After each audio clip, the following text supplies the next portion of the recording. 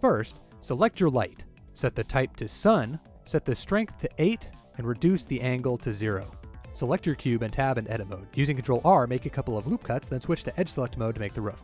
Go to the face selection mode, select the two front faces and press I twice to inset the individual faces. Select one of them to be the door and move it down. Then select the window as well and press E to extrude them back into the house. Enter wireframe mode to make it easier to select the roof. Then make a new material.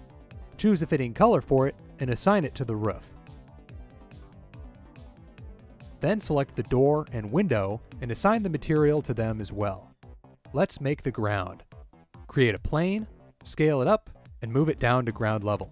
Then go to the Material Properties tab and set the material to a dark green color. Now head to the World settings. Make the sky a nice light blue color and render your image. Do you have another minute to spare? Try making a house like this one. I challenge you. Now I have just enough time left to say thanks for watching this video and please consider subscribing.